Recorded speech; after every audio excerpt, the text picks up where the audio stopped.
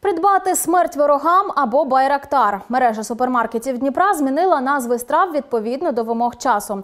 Під військовими гаслами їжа власної кухні та хліб.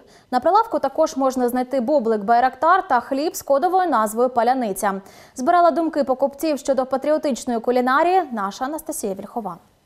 Дізнатися, яка на смак воля, зможе дніпрянка Ольга. Тепер під такою назвою плов зі свинини. Жінка ділиться, перейменування не тільки мотивує купувати продукти, а ще й піднімає патріотичний дух. Не обратила внимания, что только узнала от продавца. Это приятно.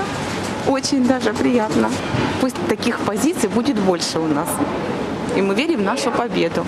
У попиті незалежність. Нині у супермаркеті під такою назвою хліб. Його дніпряни просто змітають з полиць, кажуть у магазині.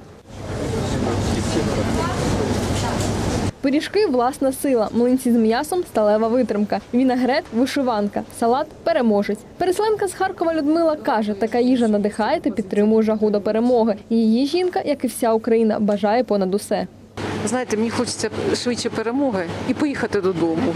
Оце єдине е, таке бажання, щоб все це вже швидше закінчилося і ми могли виїхати додому. Кожна нова назва страв то окрема історія, яких за три тижні війни назбиралося чимало, кажуть у супермаркеті. Але найголовніше, щоб назва відповідала смаку страви. Якщо це хек в клярі гребіть веслами, то це про грузинського заправника, який відмовив російському кораблю е, в заправці і сказав гребіть веслами.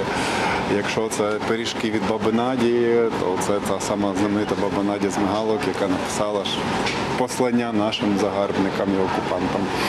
Агресорам і багет Стінгер тут вже нема про що говорити. Курчата е, Байрактар або Батон Незалежність, тобто багато таких назв, які зараз відгукуються в нас. Загалом у супермаркеті перейменували на воєнний лад зо три десятки страв та випічки. Кулінарні меми збирали Анастасія Вільхова, Максим Мещеряков, Open News, телеканал відкритий.